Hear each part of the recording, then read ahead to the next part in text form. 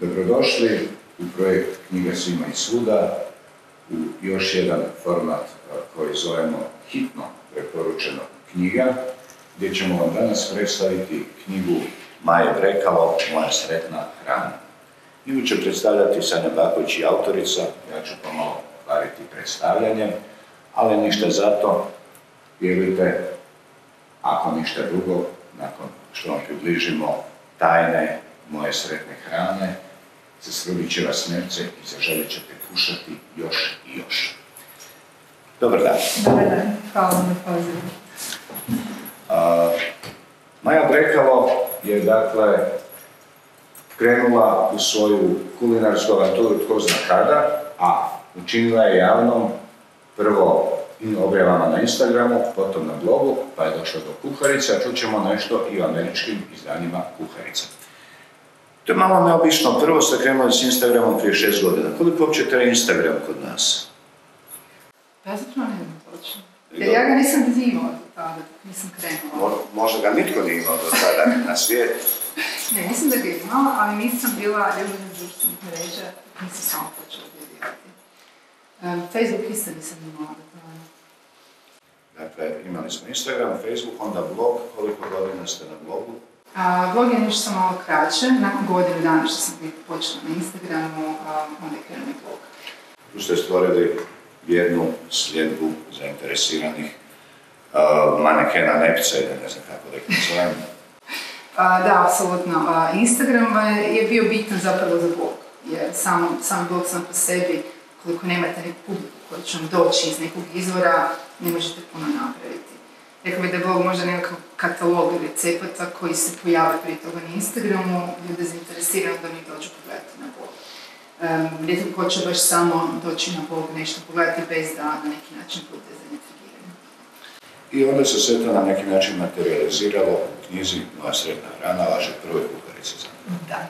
To je, uh, rekao bih, možda zbirka mojih najbližih recepata, uh, s tim da sam išla na jednostavnost, znači jednostavno recepata i kompliciranijih, ali ideja je bila da, budu jednostavni, puno put isprobani, nešto što ja svakodnevno kuham i što vjerujem da se, da se može šire kupiti Vi ste profesionalno ne samo kuharica, to jest ne bavite se samo kulinarstvom, nego i stewardesa. Da. Dakle, puno putujete. Mm, da.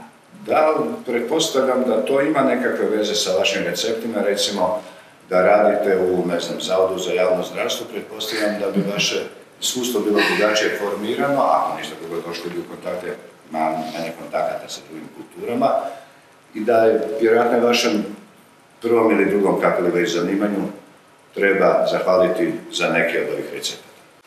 da, to su zapravo više puno putovanja koje su mi omogućene tim poslom koji radim najviše dodjeli sa Azijom i sa Dalekim istokom i da, apsolutno je utjecalo na izbor namirnica, na uh, jela koja sam uvrstila. Cijelo jedna povode se zapravo zove inspirirano Dalekim istokom. Uh, ali to su nekakve moje verzije, možda malo jednostavnije i malo više prilagođene uh, našim nefcima, evropskim.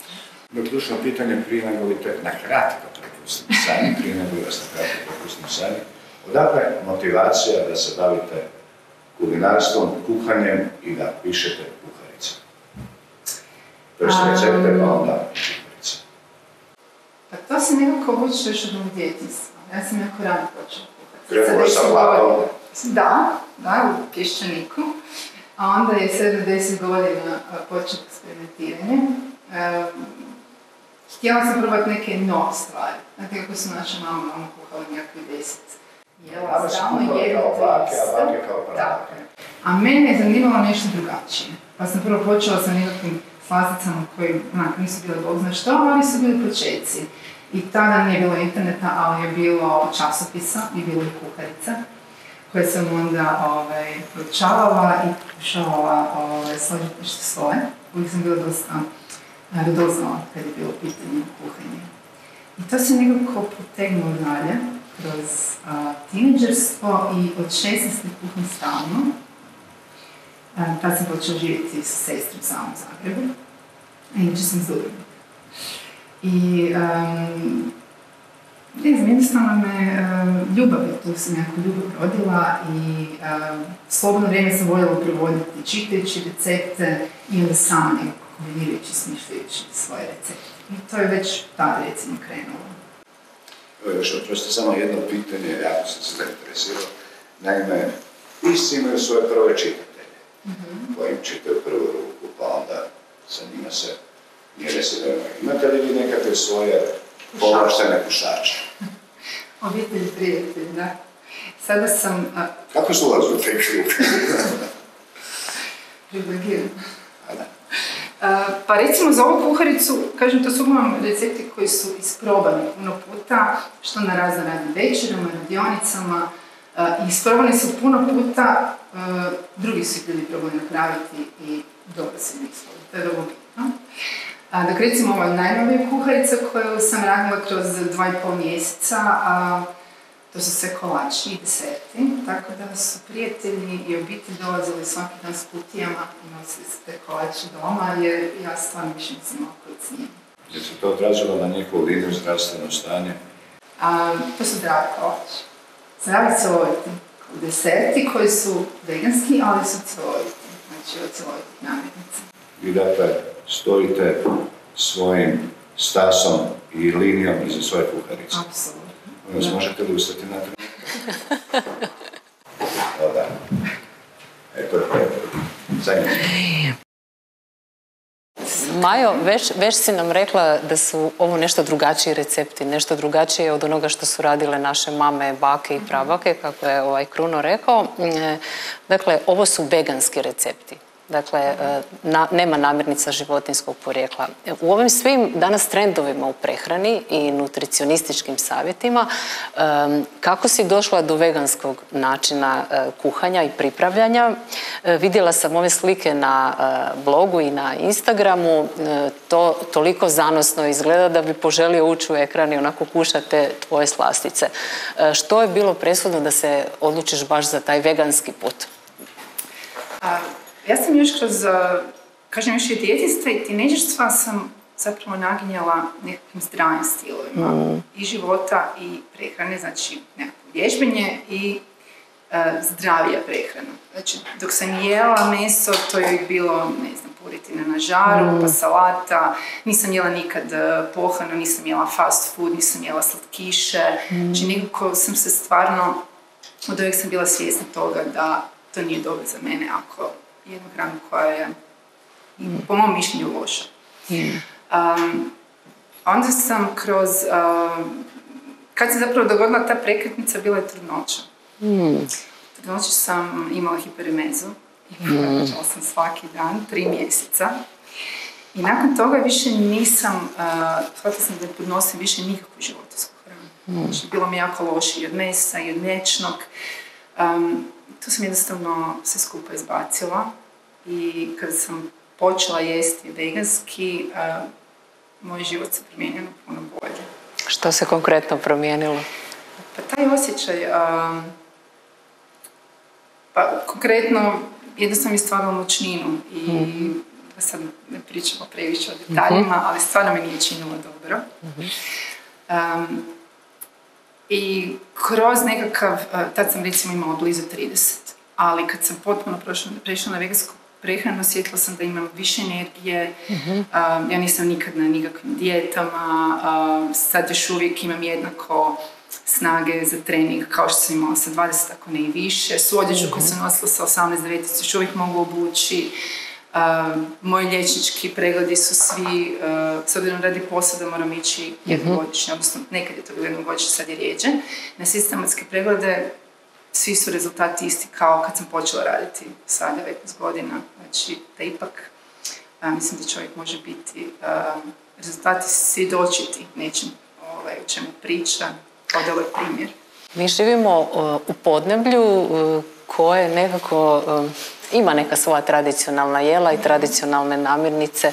E, kako je zapravo vaša kuharica i vaši recepti, kako su oni prihvaćeni među prijateljima, obitelji? Jeste li uspjeli nekog preobratiti ili se neko zakačio i krenuo putem e, sretne kuharice Maje Brekalo? Pa jako puno e, ljudi prihvaća. ja zapravo nigdje ne više kuharica vegan. na hrvatskom ne postoji izraz plant-based, ali to je ono što ja volim zapravo reći da sam ja plant-based, da ja ne mislim da svi moraju prestati jesti sve životinsko, niti mislim da to ikome treba biti potpuni fokus, ali mislim da bi se svakako u prehranu trebalo uvrstiti što više cjelovitih biljnih namirnica. Onda sve što pojedete sa strane, uz to i ne svaki dan, po mom mišljenju, neće vam bitno naškoditi. Mm. Ali mislim da se izgubio taj dio, cjelovita hrana mm. od individualne žitarica preko mahunarki, sjemenki, mm. plodova, povrća, po mogućnosti organskog i uh, lokalno zgojenog. Um, sve su to stvari koje bi svi trebali težiti. Bez, bez obzira na to da li uz to pojedu ponekad neku ribu, meso ili nešto mliječno, mislim da je fokus prešao previše na tu stranu, jer ni naši preci nisu toliko jeli životinske hrane, prije svega jer nisu imali. I zapravo su oni skoro bili pa plant-based, jer su jeli za uh, blagdane i u nedjelju su jeli meso. Tako su jeli naše bake. Recimo kada bismo htjeli uh, neki, po nekom receptu iz uh, vaše kuharice pripraviti jelo, možemo li sve namirnice naći ovdje kod nas? Možete. Ništa nema egzotično što ne možemo? većina jela rekla bih možda 70-80% jela iz kuharice imaju okus naš. Znači, mm. ili možda malo vuku na talijanski, ako je nekakva bosilja, krajčica.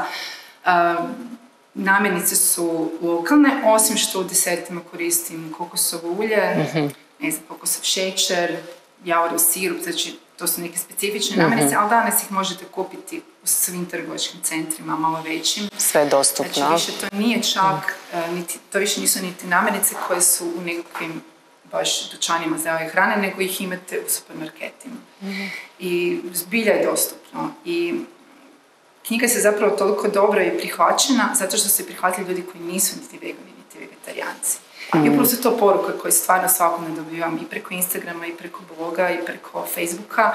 I mi se ljudi javljaju jer su oduševljeni jednostavnošću i normalnim okusima, kako sam to mhm. znaju nazvati.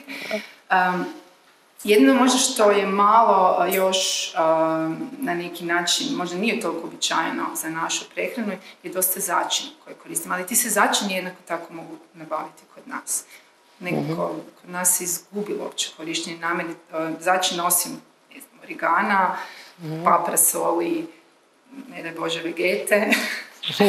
Ali ja koristim još jedno peće začina, recimo poput e, korijandera, kurkume, karija, čilija, koji su isto tako dostupni, koji daju jako puno okusa jelu, bez da ga bitno promijene. Znači, namirnice još uvijek imaju okus po nekakav prirodni okus. Knjiga se zove Moja sretna hrana. Nekako pretpostavljam da se iza tog naslova krije povezanost sa osjećajima koje ta hrana stvara. Pa me zanima me malo taj dio oko e, hrane koju e, ti spremaš i, i recepata koje si smislila i onog osjećaja koji se stvara zapravo Obično ljudi ono kad se ne jedu neke teške hrane onda je to ono, teško se probavlja, budu pospani to. E, Zašto je tvoja hrana sretna? Evo. Pa rekla bih da to ima više dimenzija. Jedna prva dimenzija je ta da sam ja veliki gurman. I kod mene nema ono zdravo i pa dobro, ok, ono, ok, okus. Ne, mhm. mora biti jako ukusno i ja sam veliki gurman. I zato koristim i puno začina i ne mogu jesti neposoljenu hranu, začinjenu hranu. Mm. meni ukusna hrana prije svega čini da se sjećam na neki način sretno. Druga dimenzija je ta da, da znam da je ta hrana dobra za mene i da ću se dobro sjećati i da neću imati problema sa energijom i sa tim kako se sjećam, da je to hrana koja čini dobro za mene u smislu da se ne mogu ograničavati koliko ću pojesti jer ću se, ne znam, udebljati ili jer je to mm. previše kalorija. Mene često puta ljudi znaju pitati koliko to ima kalorija. Ja stvarno to ne pratim i ne mm. znam i zapravo me ne zanima. Mislim da je uopće bitno puno je važnije što jedemo nego koliko jedemo. mm I puno je važnije da ta hrana kvalitetna i dobra za nas sadrži sastojk, odnosno nutrijente koji su mhm. nam potrebni, nego koliko to ima kalorija. Mislim da je taj cijeli koncept promatranja hrane kroz kalorije krivi i čini nam da se osjećamo loše i um, da imamo grižnju savjest, a zapravo kad hranu promatrate kao samo nešto što je dobro za tebe jer sadrži dobre stvari u tebi, mislim, mislim da je to samo ograničavajuće koliko nečeg možeš pojesti. A, pogotovo zato što je a, biljna hrana, cjelovita hrana, a, ima puno veću masu u odnosu na nutrijente. Znači, manje koncentrirana, imate puno vlakana koje su neprobavljiva. I na taj način pojedete više hrane, ali zapravo ste unijeli manje kalorije na taj način. Ne znam koja bi bila treća. Pa mislim, treća dimenzija je upravo ta, da znam da, da ću se osjećati dobro, da mi neće biti teško želucu, da ću imati, ovaj, da neću biti, nakon što se najedem, um, onako kisla i Troma. troma. Kruno, je li imaš još neko pitanje za Maju? Da li, koliko puta dnevno jedete? Ja se držim režima intermittent fastinga ili povre- povremeno postim sam se to zove. Radi toga zapravo jedem zapravo dva puta. Jedem doručak, jedem još jednom konkretno. To je nešto što meni odgovara. Ja ne mislim da bi se svi tako trebali hraniti. Um, taj princip po- povremeno posta znači da dajete tijelu jedan uh, određeni broj sati, najbolje bi bilo minimalno 14 sati, gdje se tijelo regenerira i odrađuje sve one procese njemu neophodne, neometane na programu. Ali inače, možda da se ne držim toga, možda bi bila tri puta. Ali ovo mi je sasvim dovoljno. Znači, nikad nisam ne idem za tim da budem gladna. A da li se tijekom tih 14 sati može neograničeno piti?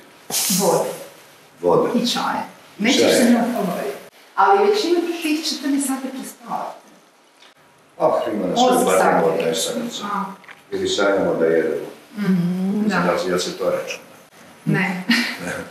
A planirate li tjednu ili mjesečnu nekakvu prehranu ili samo dnevno? Postoji li nekakav dakle plan na tjednoj bazi Ne. ili idete daily, dan za dan?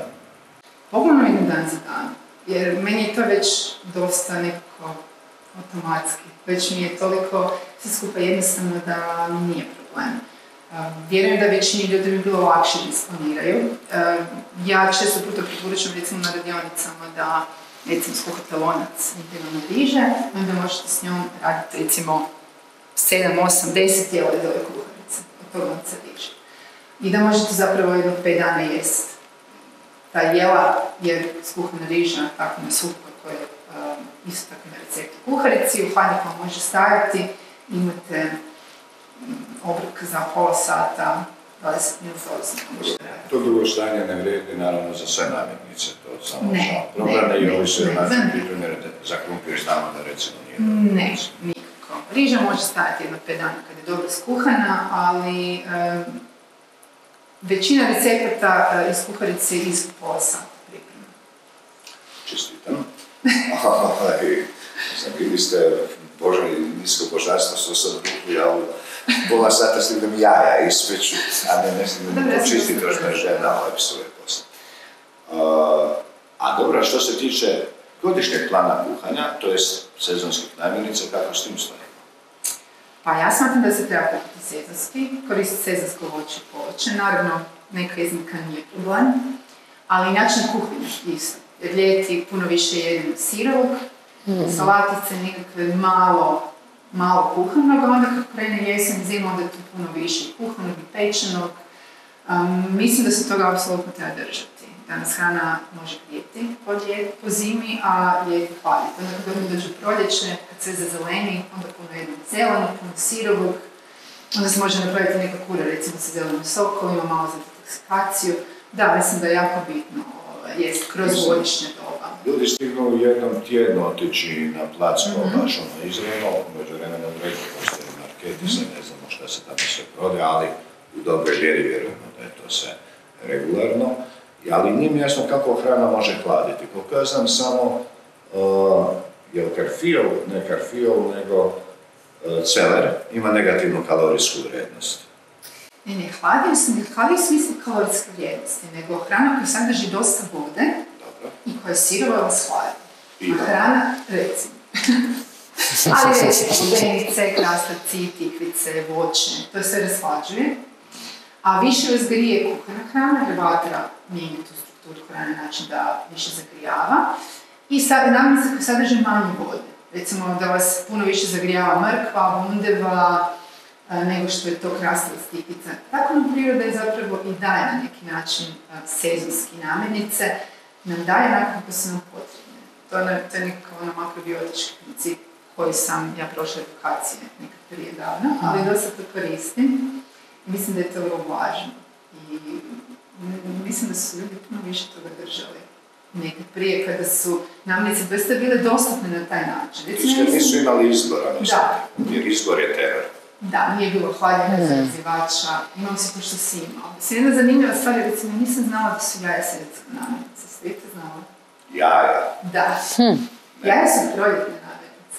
Samo proljeće. A, pa, najviše jaja se, kokice, najviše legu jaja. Da, jer onda da prežive. A onda, recimo, to možete jako dobro vidjeti kod, ja sam nek- nekad vidio sam još kupovala jaja, bila je jedna stara, stara gospođa koja je bila na trećničku populaciju jaja. Po zimi bi imala možda jednu do dvije kutije ovako malih jačaka, a onda kad bi došao proći, nema bi imala deset kutija velikih jaja. To su sve iste kokice, vele. Znači one, valjda za samo puko preživljavanje ide onaj dio dok je hladno, a onda kroz proljeće i ovaj topli dio godine puno više. Ja sam isto bila uvjerena da jaja Da, cijelo se godišnje. Ali logično je ovo što ste sad ispričali, sad se osjećam postavljenim glup što nikada nisam. Da ste mi dali da razmislim, rekao bih u proljeće. Ali. Ali, e, vi ste rekli u predgovoru u svojoj knjizi da ste ispričali to svoje osobno iskustvo, kako ste bili jedna od one nesretne djece koje na dječjim rođendanima nikada ne može sudjelovati u najveće, u uh, vrhuncu tuluma, a to je stiže torta, jer ste se to osjećali loše nakon što ste više torte pojeli, to je očito od jaja, ali jer ste na neki način predisponirani izgleda za vegane. A, da, meni su jako bilo bi mučno svaki torte i nisam zato mogla uopće jesti kolače kroz. Mislim, mene bi sad zanimalo jedno filozofsko pitanje. Kako objašnjate tu činjenicu da je čovjek svežder po svim svojim antropološkim, fiziološkim obilježjima, a da je moguće da živi kao recimo vegan? A to je dosta dosta diskutabilno. Ima, ima znanstvenika koji se s time slažu, koji kažu da je, da je dužina našeg rodnog trakta, odnosno duljina našeg crijeva, nije u skladu sa... a, Naše i- su malo svešterstvo. Dobro, ali... S druge strane, ja 15 godina već ne savršeno sam zdrava. A, Imam ja neki spremni odgovor na to, ali zanima me vaš odgovor, nismo tu zbog mene. pa, Ja, ovako, odgovor na sva ja- pitanja, još češće pitanja na sve odgovore. Ja ne volim naglašavati veganstvo, niti svoje, niti bilo drugo. Mislim da svatko ima pravo odlučiti sebe kako će se hraniti. Ja isto mislim da je to dosta individualno, pogotovo pod stare dane, da je vrlo rizično i velik stres za organizam da čovjek radikalno mijenja način. prehrane. A, S druge strane, mislim da je jedanje mesa i životinske hrane otišlo u jedan veliki ekstrem, koji nikad prije nije bilo. I danas, a, farming industry, ne znam kako bi se nazvala, industrija mesa, mlijeka, znači svih jaja, su najveći zagađivači i najveći uništivači planeta, biljnih vrsta, voda, voda, tla, šuma i tako dalje. Mislim da je to jedan veliki komoditet koji, za koji bi mi morali razmisliti kao vrsta, da nam je to doista neophodno. To je sasvim Mislim da treba staviti to na neki način. razlozi su na strani vegetarijanske i veganske. Znači, ne mislim da svi trebaju biti vegani niti vegetarijanci, mislim da se jednostavno otišlo u preveliki ekstrem. Na taj način da um, su toliki uništivači planeta. Znači, ali pričamo sad o očuvanju planete, pričamo o očuvanju ljudskog roda na planetu. Jer vidimo sami što se sve skupa događa nama ljudima zbog promjena koje se događaju. A neki drugi aspekti našeg društva isto tako loše utječu na ekologiju i na naš planet. Međutim, vjerujem da ne možemo bez prometa, i ne možemo bez struje, i ne možemo bez zračnog prometa, ali možemo ne jest meso svaki dan. Mislim da je to nešto što bi svatko iz osobnog odabira mogao napraviti uh, taj uh, odabir, jer ga to ne košta previše komuniteta. To mogu oni privilegirani koji imaju priliku da dođu u tu situaciju izbora. Čovjek nije onaj koji odlučuje samo o sebi, on je dio različitih drugih mreža, društva, načina. I oni koji zbog korone idu raditi svaki dan unatoč svim opasnostima da bi dobili 5 dolara, ne mogu tako razmišljati. To je sasvim jasno. Ne znam kako to Želim reći da ovo što vi pričate jest tako za one koji imaju priliku da uživaju u tome izboru, da velika većina ljudi naprosto nije u situaciji da uopće razmišlja o tim izborima, nego jede što može, kad može, kada šta uhvati. Govorim o planeti. Globalno? Globalno, da ne govorim sad o nama koji eto možda imamo tu priliku da biramo i da uopće o tome razmišljamo. To želim reći u tom smislu naravno treba shvatiti sve prepreke. Pa ja bih, ja bih tu rekla da u najsiromašnijim zajednici jedu najmanje mesa i jedu za biljnu hranu najviše i da su to još uvijek zajednice koje su, što se tiče kroničnih bolesti, najzdravije. E, slažem se, ali to nije stvar njihovog izbora, vjerujte, prvo će početi jesti, čini se pružiti da oni bi više jeli mesa. Pa ne, ne, ali to vam ja hoću reći, znači ja ne mislim da, mislim da ste krivo kad kažete da je uh, prehrana bogata životinjskim namirnicama jeftinija nego prehrana Ne, ne, ne, ne, ne, ne na taj način, to sam sam htio poantirati na drugi način, nego da ljudi naprosto nisu u situaciji to. Zostajemo se na tome. Želim sada pitati, a, dakle, ekonomski, financijski, kao vaši recepti, kako stoje u odnosu na tradicionalnu prehranu. Pa rekla bih da svi osim deserta stoje jednako. Znači, desertima koristim neke namirnice koje su skuplje, jer nažalost integralno brašno je skuplje od običnog brašna i a, ne znam, zas- zasađivači koje koristim su isto tako skuplji od bijelog šećera. Međutim, a, ja bih tu htjela još jednu digresiju reći. A, mislim da je najskuplje biti bolestan. Ako ne za sebe, skuplje je nama i najskuplje je državi. I najskuplje je zajednici. I mislim da se e, prehrana bi se trebala promatrati kao ulaganje u sebe i ulaganje u budućnost. Ja ovu državu ne koštam ništa. Imam 45 godina, meni treba liječnik dva put godišnje kad imam neku prehladu. Mislim da prosjek 45 godišnja puno više košta i sebe i državu zbog svojeg zdravstvenog stanja, nego što bi to koštalo da ulagao u sebe sa prirodnom prehranom. Mislim da malo, da se jako kratkoročno gleda kada se to promatra. Mislim da bi trebalo svemu to malo više razmisliti. I da bi zapravo i država morala poticati da se ljudi hrane zdravije, jer u ovoj situaciji kad pričamo o koroni, pričamo o a, osjetljivim a, grupacijama stanovništva koje su upravo zato osjetljive jer imaju kronične bolesti. Znači sve to skupa ima jednu veliku cijenu koju se ne. To je potpuno istina i to potpuno vrijedi za zemlje koje imaju zdravstvene i mirovinske i ostale fondove. Malo prije mi se vratio prijatelj, malo prije, prije par mjeseci iz Afrike i pitam kako stoji sada sa zdravstvom korone i tamo i mirovinskim fondovima. Kažem nikak, nema mirovinskih fondova, nema osiguranja, nema zdravstvenih fondova. Dakle, njih se to ne tiče. To je za nas na neki način stvarno povlaštene. Bijelce koji živimo u srednjem dijelu svijeta, ne našom zastavom. Ovaj, dakle, ovo je stvar koja vodi račune o ekologiji i ekonomiji. I o ja mislim da da. I o tome da se dobro sjećamo, da fino jedemo i um, I o. Da, jako je bitan i taj dio. I mislim da je bitna a, jednostavnost i primjenjivost. I ovo su recepti napravljeni za ljude koji nemaju vremena. I jako me veseli što mi se ljudi javljaju koji nisu nikad kuhali, koji kažu da sad kuhaju, da kuhaju svaki dan skoro, jer im je jednostavno, jer im je fino, jer se dobro sjećaju hrane. Koji je vaš najpopularniji recept? Na koji ste imali najbolje e, reakcije? Pa možda, jako puno ljudi se zakači za picu. E, molim vas da sada u kameru ispričate našim gledateljima kako napraviti ili pročitate kako napraviti jednu super zdravu, finu, ukusnu, jeftinu picu. Zdravije. Zdravo. Ne mora biti super zdrava, ali je zdravija varijanta. A, Pa ćemo s tim finalizirati. ja se, ima, ima kuhara koji uživaju u kompliciranim stvarima koji uživaju radi tijesto koje se mjese pa se dižu, pa se mjese pa se dižu.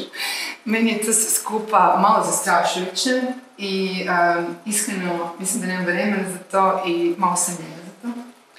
Recimo ovo tijesto se uh, radi tako da se samo namoči čije sjemenke sa vodom i onda uzmete, kad se namoče, uzmete žlicu, ubacite unutra brašno, začnicama ga zamiješate i razmažete to tijesto na papir i stavite na peć. To je sav posao koji imate oko tijesta. Nakon toga su nadjevi stvar vašeg izbora. Ja osobno sama radim umak, ne morate ga raditi. Možete gore staviti povrće, možete staviti stvarno koji god je vaš izbor. Mislim da um, nemamo slično na picu. Ali ja volim evo, taj umak sama napraviti, volim naprav, sama napraviti sir od indijskih orašića, ali ne morate to nitko raditi, ali evo, recimo to je jedno od recepta. Znači ovo je tijesto za picu koja mi je gotovo, evo, moraju se čije sjemenke malo namočiti, ali recimo da se one namaču 20 minuta, mm. ali vi se zamiješate, znači vaš posao je 10 minuta. Mislim da je to onak vrijedno spomena. Najljepša vam hvala i na ovom receptu na gostovanju na platformi knjiga Sina i Svuda. Bilo je ovo predstavljanje knjige Maja Brekalo, Moja sretna hrana, uz Sanju